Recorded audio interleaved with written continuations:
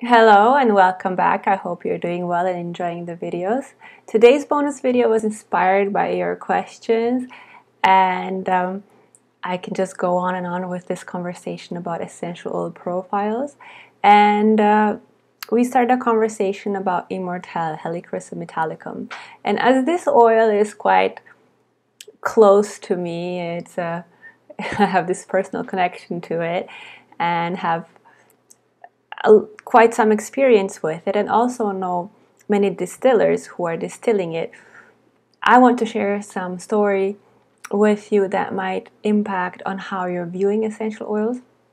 And Immortelle is one of those essential oils. As you see, we have quite some examples in Dropsmith uh, that they have very different chemistry.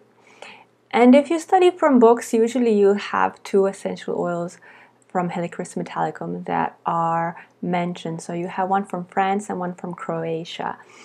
And uh, taking a quick look at it, uh, you see the difference right away if you're looking from the chemistry point of view. If you're smelling it, you will see that usually the ones that come from uh, France have a more flowery, sweet smell, although still a um, middle to heavy note whereas where you smell the uh, the Immortelle from Croatia, it will have um, maybe a, a, heavier feel to it because it's more the sesquiterpenes that you're smelling. It's it's a different dynamic. So the ones with purple are usually from France. So see this one here is definitely from France, this one. And here is the same brand, for example, and I know this one is from France and this one is from Croatia. And so this is what I'm talking about. They both have quite uh, an opus of sesquiterpene molecules, but they dominate in sesquiterpenes in Croatia and sesquiterpene um, esters here. And ketones, actually, um, in some books they talk about these uh, unique ketones that we have in Immortelle. However, this is not; these are not the only countries where you distill Immortelle, so it becomes complicated. Like this one is from Italy, and then sometimes you have from Morocco, and so you have, um, and then we have one from Slovenia right there, which is relative, very close to Croatia, right next to it actually. But because the climate is different, or perhaps the land is different. Um, the, the region is very different from Dalmatia. Of course, you have a different product. So a lot of times when we talk about Immortelle essential oils, they uh, it's mentioned that the chemistry is connected to the region, to the place or country. But I would just like to point out that all of these countries have many regions, so I don't think that's the way to go.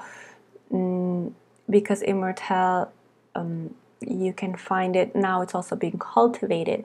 Uh, 10 years ago or more, when it wasn't so popular, usually it was wild uh, picked and it loves to grow right on the coast, at least in Croatia, where I pick it uh, right on the coast on rocks, literally growing out of rocks. So it has a very specific terrain it enjoys. And now it's being cultivated. So, of course, uh, the chemistry is very different. This is also a great example of an oil that I personally feel should be chemotyped. Look how different it is.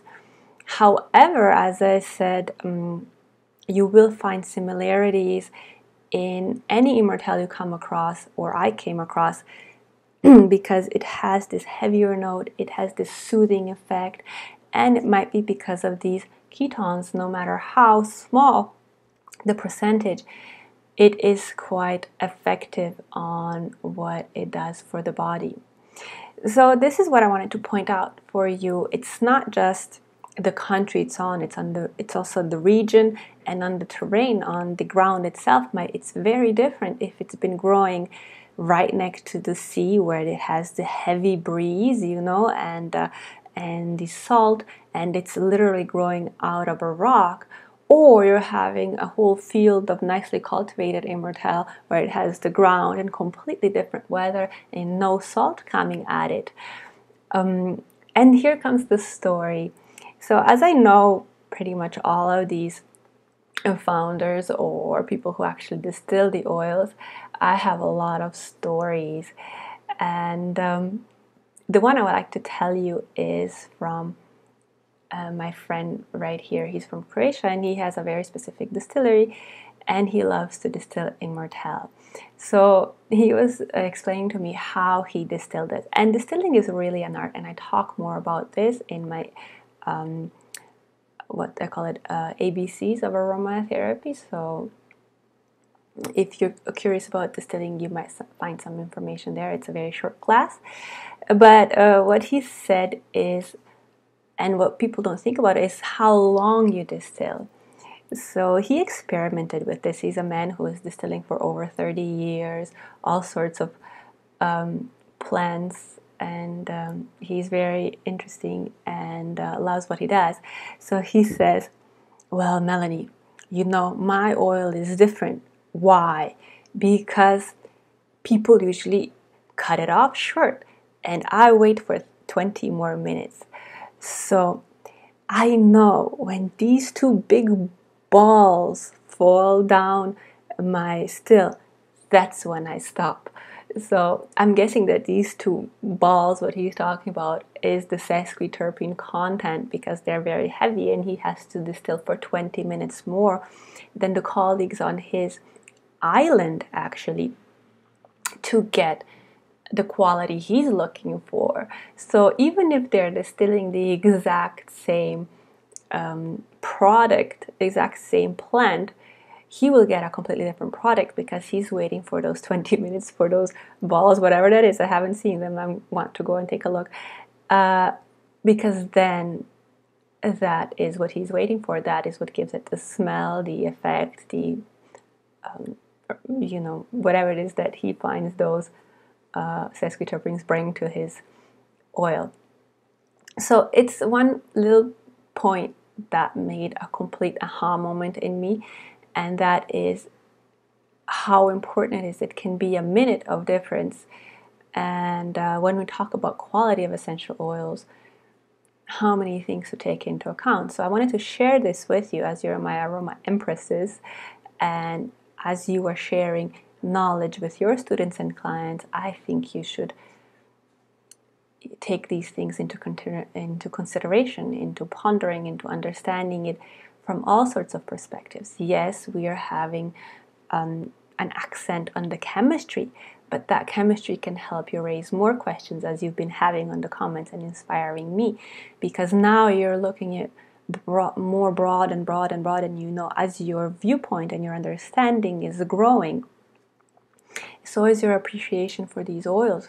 So, um, and your understanding of quality. So, depending, when we talk about distilling, depending on what you want as an outcome, you're going to set up distill, and that includes how long you will distill. So, that's why I really think distilling is an art. I will not compare this, I'll leave that to you to you know explore it and for example look at these two they have sesquiterpene alcohols that you don't really find in in the other ones or you find it in a very little um, percentage.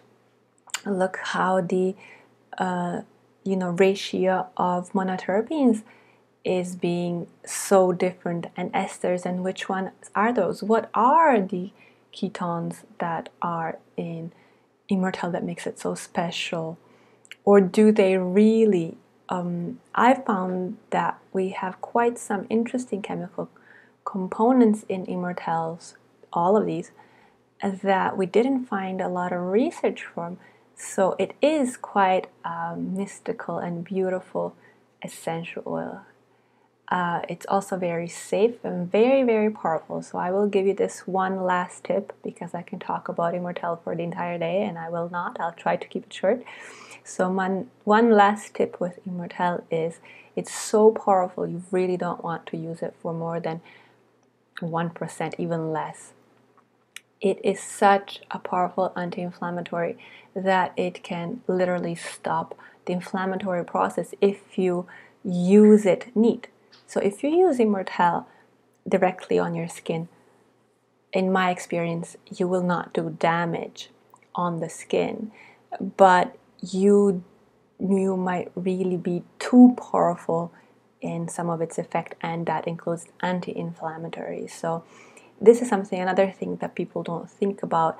They think more is more, but I find that diluting Immortelle actually brings more effect than using it neat.